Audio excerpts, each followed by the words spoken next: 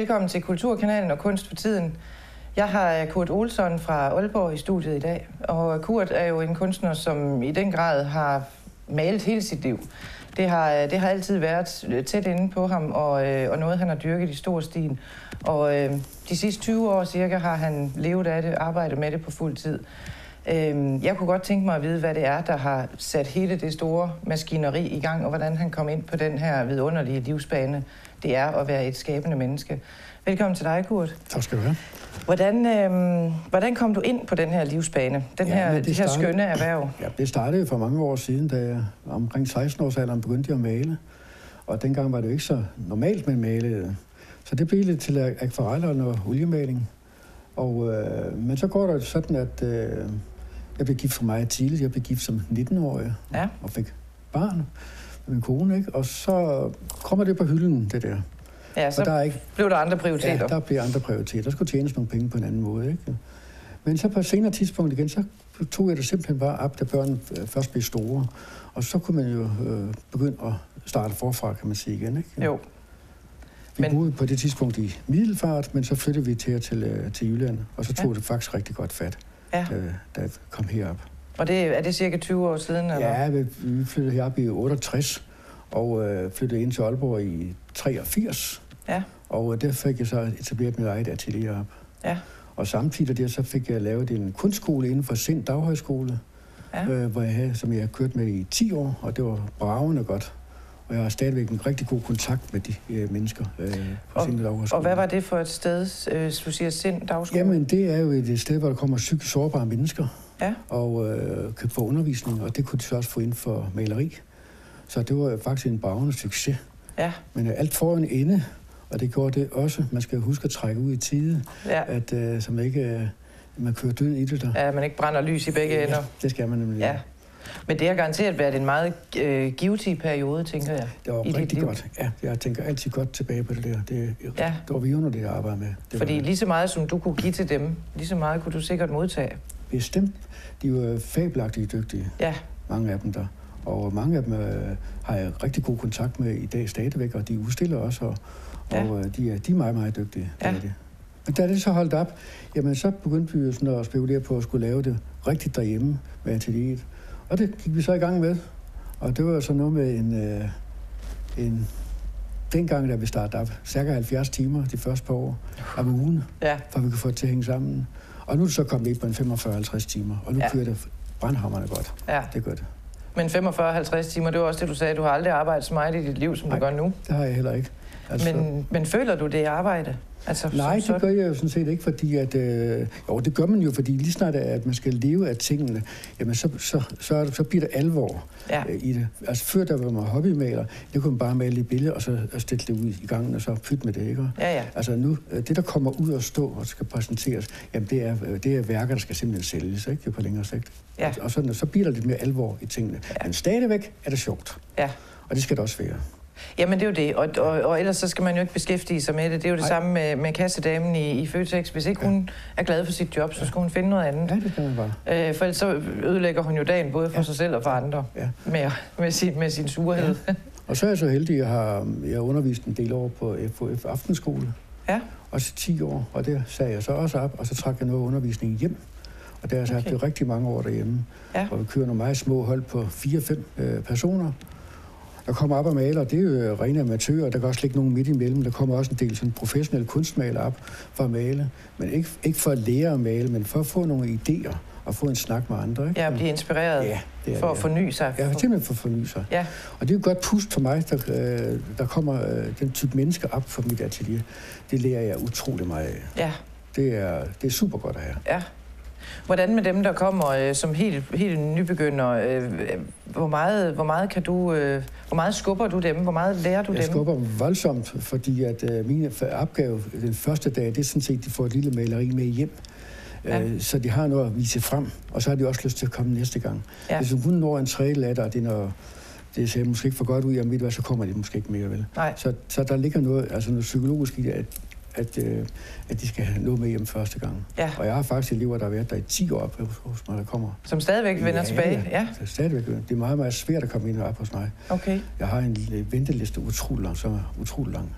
Ja, det er jo et luksusproblem. Det er, ja, ja, så det er dejligt. Men det vil sige, du, du laver det ikke som kurser, det er sådan et decideret undervisningsforløb. Det er undervisningsforløb, det løber ikke på nogen bestemte tidspunkter. De kommer så lang tid, de kan lige at komme her i huset hos mig, og de får noget ud af det.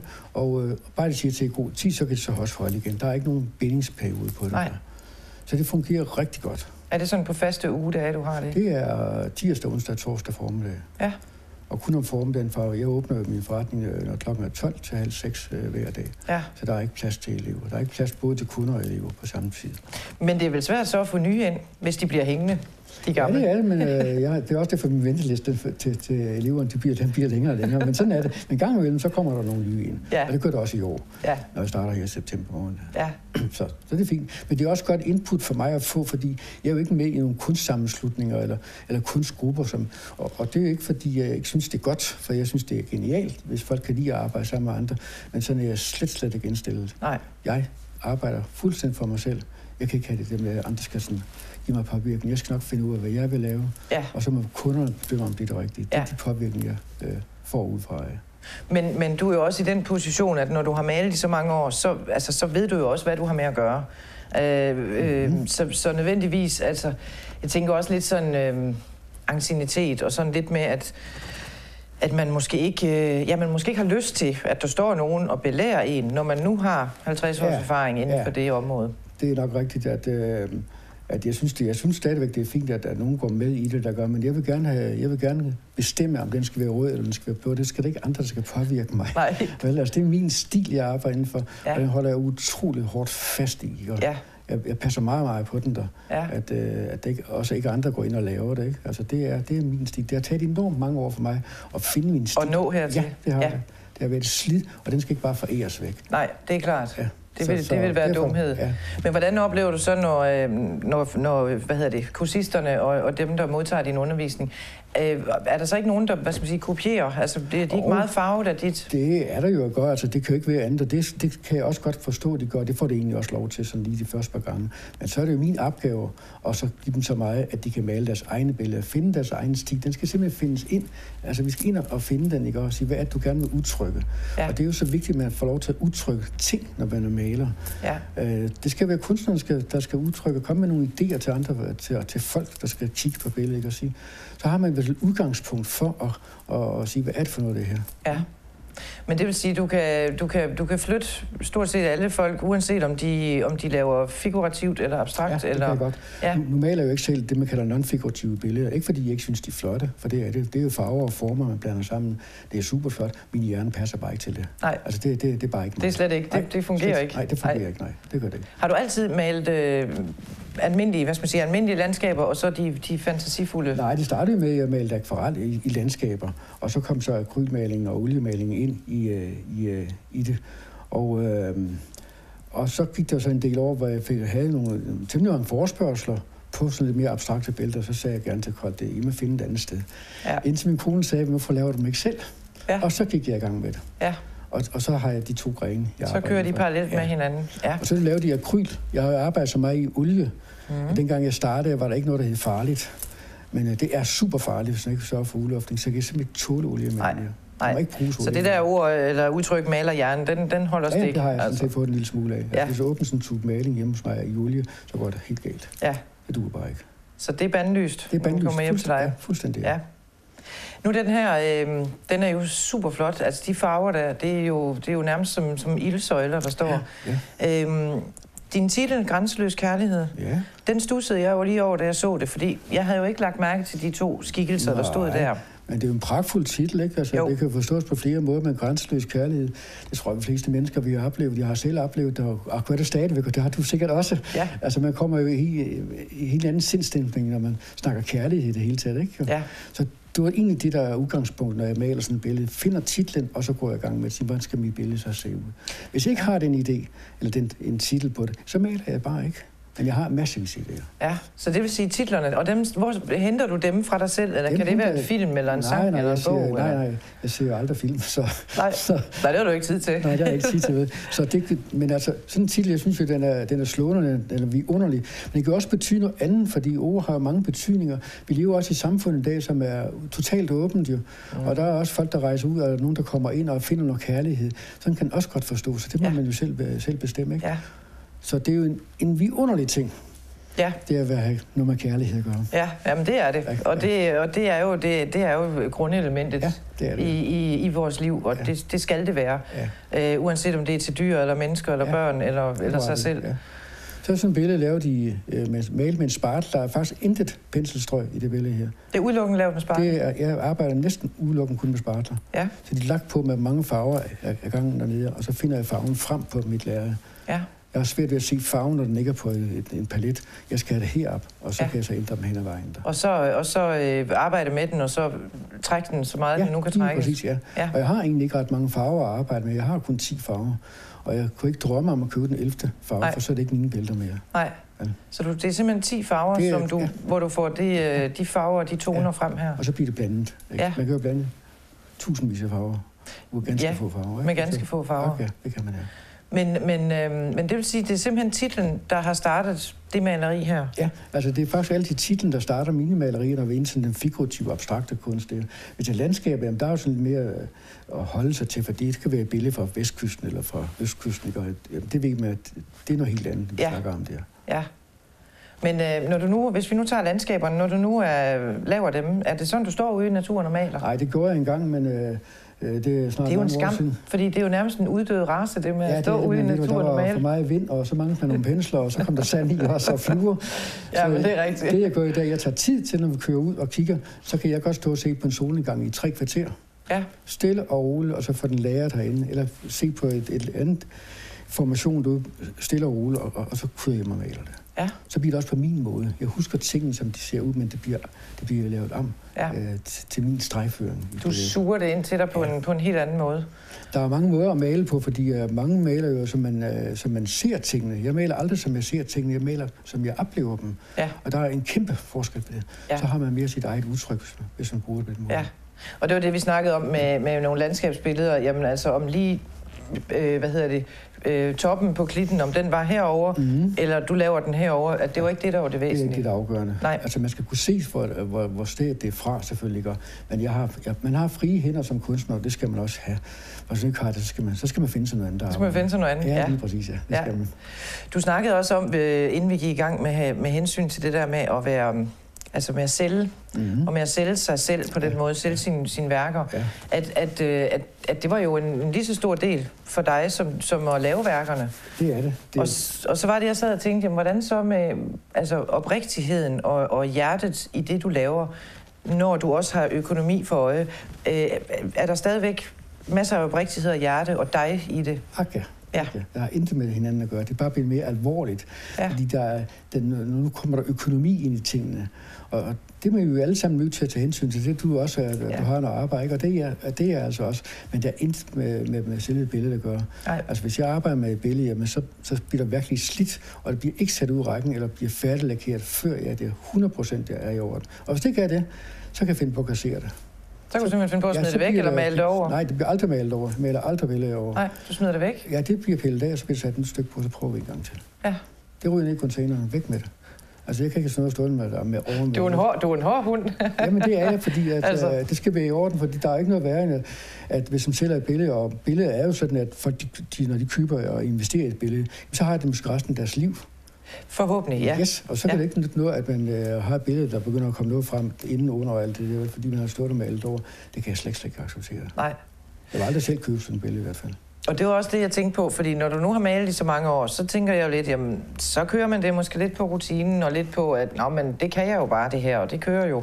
Øh, altså sådan med, men, men du siger jo, at du er blevet meget mere kritisk med tiden. Meget, meget mere kritisk, ja. Altså, Det tager længere tid, da jeg lavede et billede, end det går for 10 år siden. ja, Og, øh, men det er jo nok fordi, at øh, man, man, jeg kan jo mit håndværk, men altså, jeg vil godt have, at det skal, bare, det skal, det skal simpelthen bare være i orden. Ja. Og det, jeg sådan arbejder meget med, det er jo dybden i mine billeder, og så det lys, der kommer ind. Ja. Ikke? Altså, det kan jeg godt lide, man kommer ind og får en oplevelse i et billede. Og man kan faktisk blive ved med at få nogle oplevelser i billederne, øh, når du laver med spart, fordi der ligger rigtig meget med Der kommer meget ned fra, fra undergrunden, ikke? Det gør der, ja. Ja. Og så er det jo fantasi, også fantasien og eventyr, der arbejder i mig. Og den bruger jeg rigtig meget. Det, jeg elsker eventyr, og jeg elsker musikken, og jeg, spil, jeg hører altid musik, når jeg maler. Ja. Det skal jeg simpelthen bare ikke male. Og øh, det hører simpelthen bare sammen. Hvad er det for en type musik, du jeg lytter til? Jeg hører udelukkende klassisk musik. Ikke fordi jeg ikke kan lide andet, for jeg Nej. elsker alt muligt musik. Men når jeg maler, så kører den på klassisk musik. Ja. Og, og det, så kan det godt gå hårdt for os også. Men jeg tænker også klassisk musik, altså det, det gør jo også noget ved mennesker. Øh, det giver jo en, en, en ro og Ja, et fokus. det det, ja. Man får jo skærpet sit Ja, fokus, ja, når det man gør- hører sådan ja, ja. noget. Øhm, og samtidig så, så kunne jeg forestille mig, at man også kunne... Øh, jamen, altså, du står jo også og komponerer, Det gør jeg. ikke? Ja, Øh, ligesom jo, ligesom ja. du hører øh, en eller anden øh, et fantastisk stykke klassisk ja, musik, det er rigtigt, ja. øh, så, så følger du nærmest måske tonerne og, Ja, og øh, Altså, lyden. det bliver noget anderledes, når man musik til i hvert fald. Og det, og det virker for mig. Og Ja. ja. for, nogen kan, de kan bedre male til måske til jazzmusik eller heavy metal, hvad ved jeg ikke om, men det kan jeg bare slet ikke, så går jeg helt i spåen. Ja, ja, ja. Nej, man skal, man skal tage det, som, som virkelig ligger ja, til en, som, ja. som, som giver mening. Ja, ja. Men Du har jo også selv spillet, siger du, Ja, jamen, det har jeg. i mange år. Ja, i rigtig mange år, ja. Så du har jo, og det var både saxofon og... Det var klarinet og saxofon og være trommeslager har jeg også været ja. nogle få år siden. Men man kan, ikke bare, man kan ikke det hele livet. Altså, livet det er jo så kort, så man skal prøve at få noget ud af det på det, hvor, der man gerne vil udtrykke sig. Ja. Og så må man en gang imellem skære noget af. Ikke? Men der det er jo også nogle ting, der ligesom er, hvad skal man sige, bestemt for, jamen nu er det den her periode af mit liv, jeg gør det. er det. Også, ja. Og den, øh, den Og så ændrer jeg- skifter faserne. Ja, og den ændrer jeg ikke. Det bliver ved resten af mit liv. Det er resten af dit liv. Ja, det er det. Ja. Ja. Og der ligger jo meget arbejde i det. Det er jo ikke nok at male billederne og komme ind i stemningen og få de fantasier og eventyr ind i det. Der er hele markedsføringen. Den, er jo, den tager jo utrolig lang tid. Det tager lige så lang tid at lave markedsføring, der som at male billeder. Det gør det for mig i hvert fald. ja. Alle de netsider skal passes, ikke? og samarbejdspartnere. Jeg har en del samarbejdspartnere, som sælger billeder for mig. Ja. De skal også passes. Og øh, der har jeg noget liggende her i Aarhus øh, Galeri øh, Udsigten oppe i Sabro, mm. som samarbejder med. Jeg har tidligere haft øh, Galeri Blokhus, som jeg har været rigtig glad for at Ja. være hos. Og så har jeg et firma i Esbjerg, der sælger nogle billeder for mig også. Net, ja. Netgalleri der. Og plus jeg så selv sælger på min, øh, på min hjemmeside. Så Ja. der er rigtig meget arbejde. Ja. Men du føler aldrig, det er et pres, at du ligesom har noget, du, du har nogen, du er forpligtet over for, at du skal levere Nej, nej. nogle malerier til. Overhovedet ikke. Nej, nej, men det er slet ikke sådan, jeg siger. det. Jeg har også noget malerier til. Jeg har et lager på 125. Så, Ja, så er du så, rigelig. så, der er nok, og der er nok at tage. Det er slet ikke det. Og du bor kun i lejlighed, siger du? Ja, men jeg har en god lejlighed, der er plads til det hele. Så, Ja, det er så godt. Det, så det er fint nok. Men, øh, og du sagde også, at der var åbent hus stort set op ved dig. Ja, det er der. Altså, jeg har åbnet hver dag kl. 12 øh, til halv 6, og så er der åbent fra om lørdagen fra kl. 10 til kl. 2. Ja. Men altså, når man bliver sådan bare en lille smule... øh, Folk, de ved godt, hvor jeg bor, jamen, så ringer de på, uanset mit gadeskilt det er ude eller ej. Ja. Og det skal man bare vide, at sådan er det. Så det Ja. er et meget, meget åbent hjem, vi har. Ja. Men det er dejligt. Det. Men det er jo skønt, og specielt når din, når din hustru og din kone er med på det også. Ja, ja. Det er Og hun synes, det er fantastisk, der Det skal- kommer det liv skal- og glade dage. Ja, det skal man være enig om. Ja. Det er simpelthen bare nødvendigt. Ja, men det er vigtigt, Ja, at, øh, at, fordi hvis det bare var et 8-16 job, man havde, Ja. jamen, så var baglandet, hvad de mente, så var det ikke så vigtigt. Nej, det. Men når man er et skabende, kreativt menneske, Ja. uanset om man er det inden for musikere, eller skuespiller, eller kunstner, jamen, så, så er det bare anderledes flydende. Det er det ikke, og det er også, der er også noget i, at når man er maler, og vi snakker jo malerier fra næsten fra morgen til aften, ikke? altså det, det, det gør man helt automatisk. Man bliver lidt mil- miljøskadet af, Ja. ja. af det her. Simpelthen. Hvordan med din kone? Maler hun også? Nej, det gør hun Nej. ikke, nej. Hun er vævet, Ja. men øh, ikke, gør det ikke mere. Men øh, så er hun til gengæld en fantastisk god hjælp øh, for mig. Ikke? Er hun, øh, er hun en god kritiker? Hun er en rigtig god kritiker. En gang imellem, så kommer jeg strygende ind og siger, nu skal du komme ind og se et mesterværk. Og så står hun henne og og siger, hvor står det henne, siger hun. Så, så, ved jeg godt, så er der måske noget, der lige skal sådan ændres lidt. Ja, Så det er hun er. ja. Det kan jeg slet ikke undvære. Så hun er næsten en værre kritiker, end du selv er. Ja, næsten ja. er lige slem i hvert fald. Ja. Så det er. Men det er jo godt, at du har sådan falkens skarpe øje med dig, ikke også? Jo, Til at, og godt. lige kaste et blik på. Ja, det er glimrende. De her, øh, hvordan opstod ideen til de her, hvad skal man sige, eventyrbilleder, magien, f- fantasien? Ja, men de er jo opstået af, at jeg har jo altid været startet som landskabsmaler. Og så for, og det kan du også godt se, der er jo stadigvæk noget landskab. Der er stadigvæk i det. landskab Og det, det. er sådan at se, ført over til øh, sådan lidt mere figurativt abstrakt, ikke? Og trukken lidt i det. Og, øh, Og det er sådan set det, at, at, det er opstået det hele. Og de der linjer, der ligger inde, altså min signatur i billedet, og de streger, der ligger i det, de er på alle mine abstrakte billeder. Ja, dem her, ja, dem du der, har her og dernede også. Og det giver også anden fokus, ikke nok med det min signatur, der ligger der, men det giver også anden fokus, når du kigger på billedet. Nogen kan tro, det er bjerge, der ligger derovre bagved. Det giver ja. en form for dybde. Man fokuserer simpelthen anderledes på billedet, når det, når det ligger derinde. Ja. Og det har jo så taget rigtig lang tid at få det udbygget også. Det er ikke bare lige, man går og siger, så, og så er det i orden. Nej, så er det, det, det. det er tiden, når man arbejder, ja. simpelthen for, at det bliver sådan, som det er der. Ja. For du sagde til mig, at du holdt mig der eventyr, for når jeg kigger ja. på den her, altså så er jeg jo med det samme, nærmest på en anden planet. Altså, ja, men det er Et sted, også. som jeg ikke kender. Ja, ja. Nu er den her måne, den er tilfældigvis uh, sådan hvidblå, eller blåhvid i det billede der, men jeg har mange, der er sådan er meget violette, der kommer, der, og det er ikke stedet måner, der kommer, det kan være kloder, der kommer. Ja. Men altså, igen er der jo en utrolig god dybde i billedet. Du kan komme langt ind i sådan et billede og komme ud på nogle oplevelser. Du kan danne sig det helt, altså, ja, helt egen eventyr, når ja. du ind i sådan et billede. Og det, jeg synes er så godt med den type billeder, at man hele tiden kan finde noget nyt i sådan nogle billeder. Ja, men, og jeg kan jo godt lide det ved dine billeder, at, at for det første, den farveskala, du har brugt, mm-hmm. altså de er jo så venlige og så imødekommende. Ja, ja. Man har jo lyst til at kigge på dem. Men også det, at, at der er indgange i dem, de er åbne. Altså man kan ja. træde ind i dem. Du skal jo komme ind i et billede, og så alle den type her. Du kommer næsten altid ind fra venstre side sådan et billede her og så er det lidt mere massivt i højre side. Det gør du jo også, hvis du går på en udstilling. Så ja. går du også med uret rundt og ser ja. på billedet normalt i hvert fald ligger. Så er det rart, at man kommer ind i billedet, og så hvis der så blokerer lidt herovre, så bliver man lidt længere ind og kigger på det. Ja. Det er sådan rent psy- psykologisk.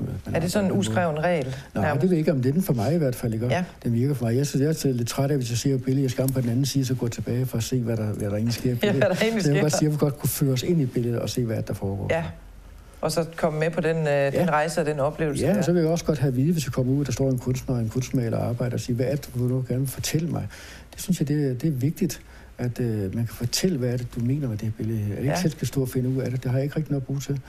Altså, vi, vi, har, vi, alle andre steder i andre brancher forlanger vi også at få noget at vide om den vare, man køber, ikke? Jo, helt klart. Ja, det, så man ikke bare får en titel på den? Ja, ja, altså, det, det må du selv finde ud af. Det, ja. det, har, det har jeg ikke noget brug til. Jeg vil godt det konkret. Jeg er meget jeg er meget konkret. Med, meget konkret ja, menneske. Det sige, ja. ja. Hvordan, øh, hvordan føler du den feedback, du får fra dine, din kursister, og også fra andre, der oplever dine billeder? Hvad, hvad kan du bruge det til? Jeg kan bruge til rigtig meget. Det er altid godt at få rose for sine ting. ja. Men det er jo en hård verden, den her kunstbranche. Ikke? Der er lige så mange, der også øh, godt kan lide at gøre det modsatte, jo, og give noget negativ kritik. Ja. Øh, men det skal man lære. Og det skal man simpelthen... Man skal lukke det ud igen. Ja. Og sige, men det er det her, jeg gerne vil. Ikke? Ja. Men altså, positiv kritik, det er vidunderligt. Ja. Ja, når man får det at vide på en konstruktiv måde, ikke? Altså, jo, det er det, at det er super godt, det du har gjort ja. derover, men hvis ja. du herover gjorde ja. sådan og sådan, ja, ikke? Altså. Det er, det er vigtigt. Det går, man kan jo ikke male, øh, man kan jo ikke øh, sælge billeder og male billeder til alle mennesker, der er tilfredse. Ej. Du er nødt til at dygtiggøre dig i nogle få felter, ikke? Og så har jeg noget kendskab til alt det andet, men der er ingen, der forlanger, at man skal kunne alt. Ej. Og så bliver det noget, så, så bliver det roderi. Så bliver det roderi, ja, for så har man jo ikke nogen begyndelse og slutning Ej. på det. Nej. Hvordan oplever du, at dine billeder bliver modtaget, når du, øh, hvis du er ude på, på... Jeg ved ikke, om du er på messer også? Og jeg er ikke på messer, nej. nej. Jeg, jeg har ikke så stor udstillingsaktivitet i øjeblikket. Jeg, jeg, øh, jeg, jeg har samarbejdet med nogle firmaer, som, som sælger mine billeder. Jeg har udstillet utrolig meget, ja. og også fået mange tilbud, men jeg har også sagt nej til mange tilbud. Men øh, så sådan det, jeg også får ja. tilbud fra udlandet, men det, det kan jeg så bare ikke. Nej. Det har jeg også øh, sagt nej, nej til, fordi det, det, er bare, det er bare ikke mig. Nej, lige ja. præcis. Men du skal jo også have tid til det, for jeg tænker også, hvordan du finder tiden til at fordybe dig i dit eget, nu når du har undervisningsforløb, de der 3-4 dage om ugen, og, og folk lige sådan kan komme ind og få kaffe og, og kigge ja. billeder og snakke og Altså, det, har du, det er har du... problem. Det er ikke, for du går, hvis du, hvis du oplever vores hjem derhjemme, ikke, eller mit der til det, jamen, så går du simpelthen bare i den verden, lige fra du står op, til du går i seng. Ikke? Ja. Altså, man ser billeder hele tiden. Det kan være maleri, men også hvis du går ud, så, så på at kigge efter, der er billeder ustandsligt. Det er bare at fange dem ind. Ja. Simpelthen bare at fange dem ind. Ja. Men alt bliver en vane, når man går ud i naturen. Der står et træ, ikke? tænker man slet ikke på. Man prøver at gå ind og kigge lidt på træet. Mm. Føle lidt på det. Ikke? Og ja, se, se strukturen. Ja, ja. Og, ja. Så er det noget helt andet. For det har vi brug for som malere. Ja. ja. Jamen, så er det jo ikke helt forkert, at jeg har et eller andet med træer, for eksempel. Altså, Nej, det har jeg også. For jeg, jeg ser træer, og jeg lytter også til dem. Ja, ja men det er fint. Jeg har malet rigtig mange Folk, træer. Folk, de synes, jeg er tosset, men det kan godt Nej, være. det er det ikke, men altså, ved du hvad, man bliver nogle gange betegnet som lidt underlig, men ikke så meget i dag, som man går før i tiden. Og øh, det er, fordi vi har brug for at få nogle indtryk, når man står ude i naturen. Stille og roligt og kigge, ikke? Og, så er der mange, der synes, hvorfor står den mand der og kigger en halv time på det samme, ikke? Ja. Det har man bare brug for, hvis man skal formidle det videre på et stykke lærred. Ja. Men der er jo også forskel, fordi nogle, øh, hvad skal man sige, ikke kreative mennesker, mm-hmm. hvis, de stod, hvis der stod en sammen med dig og kiggede på den samme, det samme sceneri ja. i naturen, øh, så ville de jo slet ikke få det ud af det, som du får. Nej, nej. For de ville jo ikke kunne se, de ville jo bare se, jamen træet står jo stadigvæk der, bakken er der, og, Ja, ja. og, og lyset der. Ja, ja. Nej, for du vil jo kunne se, jamen lyset det flytter sig, Ja. og skyggerne Det flytter ja. sig, Det ikke? flytter sig, ja. Altså, det, det, og så, så det er små, øh, det er minutter, det drejer sig om, så har billedet minutter, forandret sig. Ja, det vil du også kunne se mange gange, hvis der kommer en solnedgang. Så kommer folk kørende ud og ser solnedgang. Så kigger de på den to minutter, så kører de hjem igen. Så, så har vi set den solnedgang. Ja, nej, det har Det har, ikke. det har man bare ikke. Nej. Man skal blive der, til det går helt ned. Ikke? Og der er et fantastisk lys. Ja. Og nogle fantastiske farver, der, går frem. Ikke? Ja. Og det er bare så vidunderligt. Ja. Og som bare genskabe en lille bitte smule af det, enten i et landskabsbillede eller sådan et mere figurativt billede, der, jamen så er det værd. Ja, men det er jo det. Det er jo rent foræring. Ja. Rent foræring. Ja, og det, og det er jo nemlig det, når man er øh, kreativ og, og skabende menneske og seende menneske. Mhm. Mm-hmm. Altså, man Ja. ja. suger de der indtryk ind. ja. Altså, så får man jo alt forærende, uden, Det man, bare, ja. bare man går ud af Ja. sin hoveddør, ikke? Jo, det gør man. Øh, og lige kigger op måske, og, og så noget som sky og skyformationer. Ja, Det er jo helt fantastisk, jo hvordan det kan- Ja, det er meget flot. Hvordan det kan være, og med Ja. lyset, der falder på dem, og hvad de kan komme til at ligne. Det er utroligt flot, det der. Men jeg har også indtryk af, at lyset er meget vigtigt for dig i din billede. Det er utroligt vigtigt. Ja, Altså, et billede uden lys, det bliver egentlig kasseret hos mig. ja, men øh, men øh, jeg arbejder udelukkende, når jeg går i gang. Der skal være noget lys i det? Det er Ja. sådan set det første, jeg koncentrerer mig om. Ikke? ja. Skal være nogle kontraster i det. Der skal, noget lys, så er der også noget skygge i det. Der skal også have noget dybt ind i et billede. Vi skal altså have en afstand på nogle korte afstande i et billede. Ja. Og det, det skaber simpelthen bare noget liv. For, for jeg er tilfreds. ja. Men der er jo også forskel på, om lyset kommer ovenfra og presser sig ned, eller Uh, ja. det sådan kommer fra er- man, siderne. Ja, ja, så har du nogle helt andre skyggevirkninger, hvis det er træer, det handler om, eller bakker. Ja. Men det, det tænker jeg ikke så meget over, når jeg sidder og arbejder. Det kommer helt af sig selv. Og det er det, der er foran ved, når man arbejder med mange år. Jeg tænker egentlig ikke så meget på, hvor det lys, der skal ligge. Det kommer bare. Det kommer bare. Det, Det det, kommer- det ligger i, det, det ligger i Det håndledet. ligger i håndledet. Det, Ja. ja. det faktisk. Det gør det. Ja. Fordi nu, da du sagde det der med musikere, ja, men jeg kan ikke, jeg kan ikke spille med, jeg kan ikke huske det, det er lang tid siden mm-hmm. og sådan noget. Men, men, men det der, altså det, det, det ligger der bare, ligesom når folk de cykler. Ja, altså, det, det gør det også. ikke? altså kan man bare. Ja, så kan man det. Men altså, men jeg, helt, jeg er meget, meget betænkt. Jeg også alle mine billeder, de er indrammet. Øh, alt, hvad jeg stående hjemme, det er indrammet. Ja. Og det har jeg så heldigvis i et godt samarbejdsfirma, Aalborg Rammegalleri i Aalborg, som jeg har samarbejdet med. Jeg sælger også mine billeder. Ja, Og så... Øh, jeg kan ikke sætte billeder, der ikke er rammet ind i hvert fald. nej, det skal du vil have rammen på. Ja, det, det vil mine kunder sådan set også have. Ja, men der er jo også det ved det, at, at den type malerier, du laver, der, der, hvad skal man sige, der råber det nærmest også efter Ja, en ramme, det, ja. fordi det Ja. fuldender det Ja. på en eller anden måde. Ja. Og så kan der være andre typer malerier, hvis man sætter en Ja. ramme på, så er det fuldstændig Ja, ja, forkert. helt, helt. Så ødelægger det nærmest Ja, på billedet, ikke? Jo, jo. Men øhm, du har aldrig tænkt på at skrive en bog, tænkte jeg. Fordi når jeg ser på de der... Jeg, altså, jeg, er jo, jeg er jo i gang med at brygge noget sammen allerede med en måne og noget planet og Ja, noget et ja. eller andet øh, Nej, eventyr. Det er jeg ikke. Altså, um, det er ikke. Jeg har, jeg har ikke, for det første har jeg ikke tid til det. Der. Jeg tror ikke, jeg har lyst til det. Altså, jeg er nok nø- nødt til at koncentrere mig om det, jeg har Ja. ja. her. Jeg har rigeligt at se til. Ja. det angår. Men det kunne være spændende at gøre det, så jeg synes, det er spændende folk, der kan skrive. Ja. Det er jo lige så kreativt som at være maler. Det er altid- det. På, øh, på, på, på to forskellige måder, og alligevel Ja. samme måde. Ja, ja, så det er fint nok. Det er bare, at man maler med ord i stedet ja, for. Ja.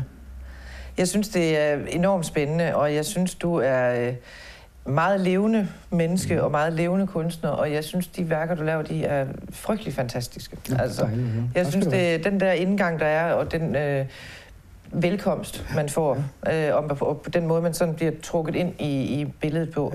Ja. Øhm, det synes jeg er godt, og jeg kan godt stå der og ventetid, øh, få dem op og, øh, og få nogle af dine guldkorn.